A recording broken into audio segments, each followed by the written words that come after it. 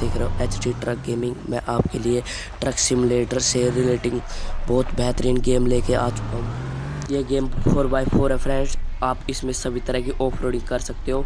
इस कार को आप गड्ढों में से निकाल सकते हो, पहाड़ों पर चला सकते हो, चट्टानों पर चला सकते हो, और इसको पानी में भी चला सकते हो आप।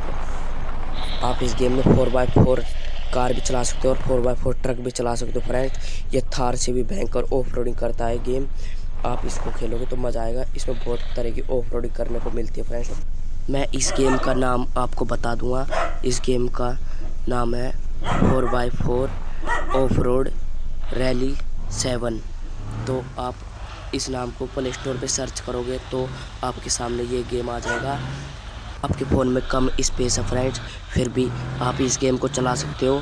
ये आपका फ़ोन बिल्कुल भी लैग नहीं करेगा और हैंग नहीं करेगा। आप बड़ी आसानी से इस गेम को चला सकते हो और मेरे चैनल को सब्सक्राइब कर दें।